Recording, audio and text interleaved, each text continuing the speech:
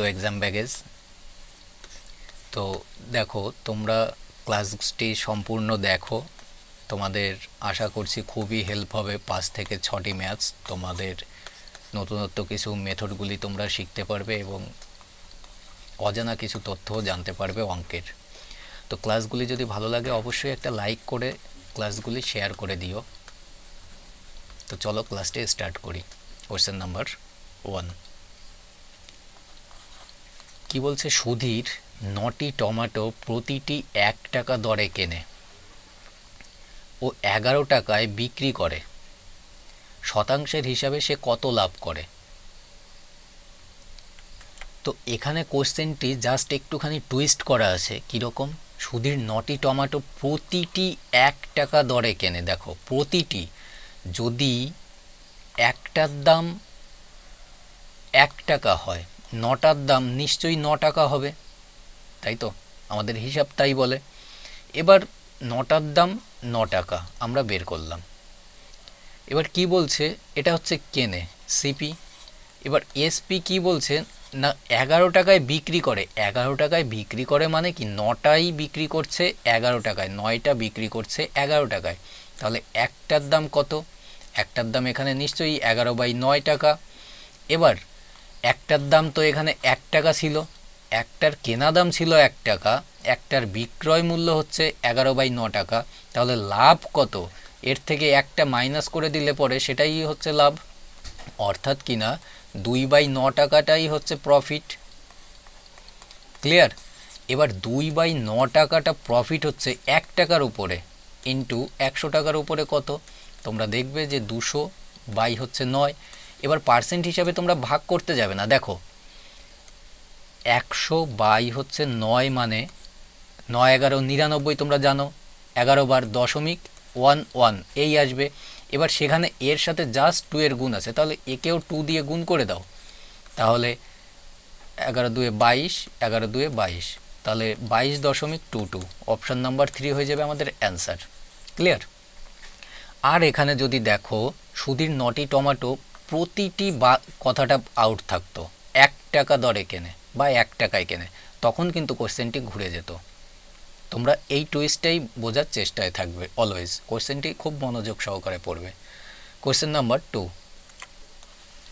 এটা জানি বহু ক্যান্ডিডেট ভুল করবে, ভুল বলবে বা অ্যান্সারটি অনেক ক্যান্ডিডেট আবার জানা।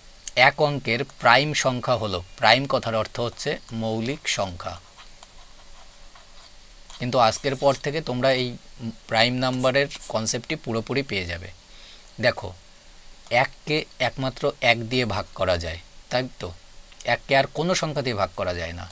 দুইকে এক দিয়েও ভাগ করা যায়, আবার দুইকে দুই দিয়েও ভাগ করা যায় ইকুয়াল ওয়ান পরের সংখ্যা তিন, তিনকে এক দিয়ে ভাগ করা যায় তিন, তিনকে তিন দিয়েও ভাগ করা যায় এক। পরের সংখ্যা চার চারকে এক দিয়ে ভাগ করা যায়, চারই আসবে। চারকে দুই দিয়ে ভাগ করা যায়, দুই আসবে। চারকে চার দ্বারা ভাগ করা যায়, তাহলে এক আসবে। তাহলে এখান থেকেই তোমরা বুঝতে পারবে যে সব থেকে প্রাইম নাম্বার ছোট কোনটা আর প্রাইম নাম্বার হওয়ার গুণ কি।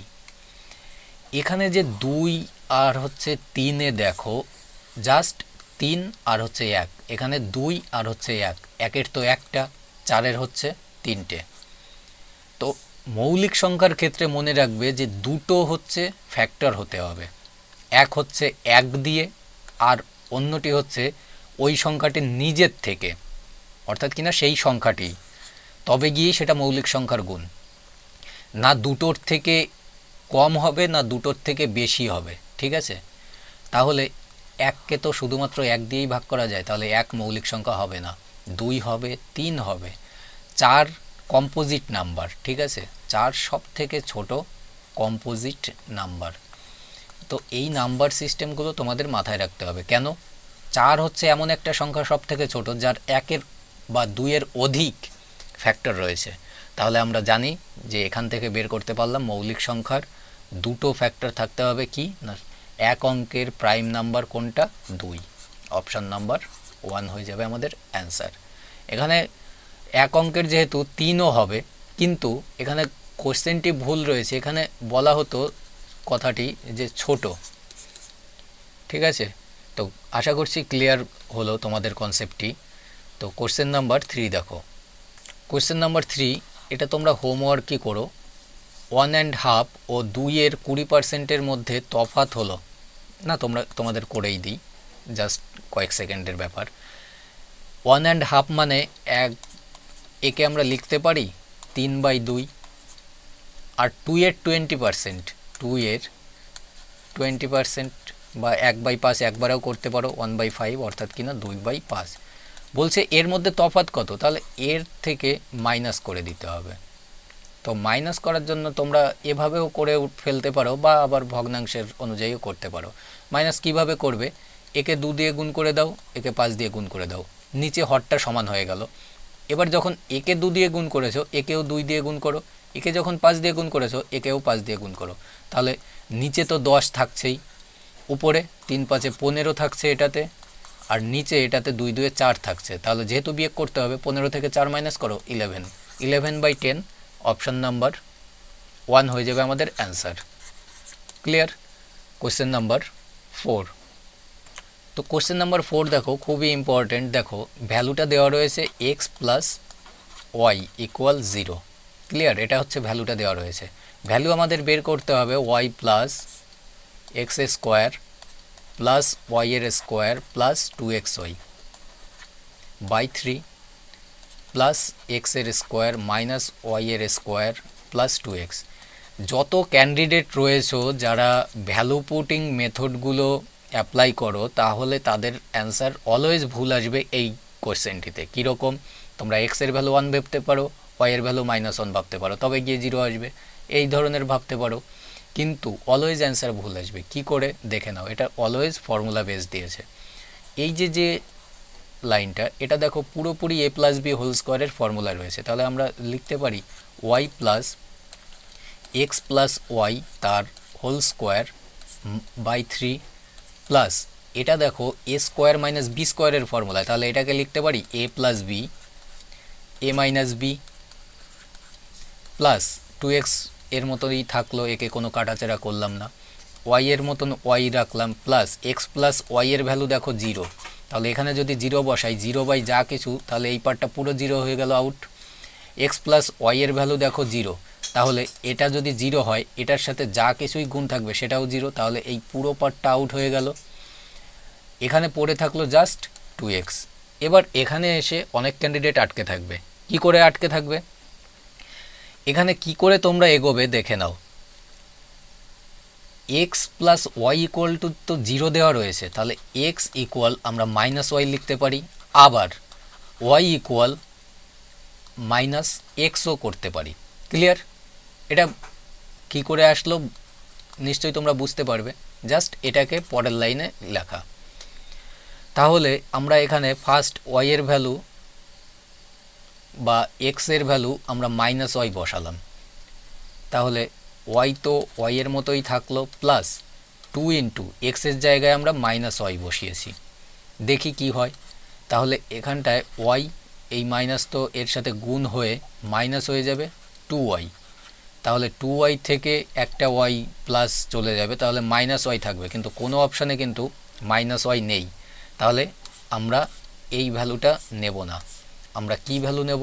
এই ভ্যালুটা নিয়ে দেখব। Y equal to minus x তাহলে y equal to minus x বসালাম প্লাস টু এক্স তাহলে টু এক্স থেকে একটা এক্স যদি চলে যায়, তাহলে এক্স তাহলে অপশান নাম্বার এক্স ওয়ান হয়ে যাবে আমাদের অ্যান্সার ক্লিয়ার ভ্যালু পুট করে দেখবে ওয়ান আসবে, কিন্তু সম্পূর্ণ wrong question number five question number five খুবই ইম্পর্টেন্ট অ্যান্ড খুবই ইজিয়েস্ট একটা ম্যাথসের টাইপ যদি nine to the power x equal nine by three to the power x হয়, তাহলে এক্সের মান আমাদের ফাইন্ড করতে হবে।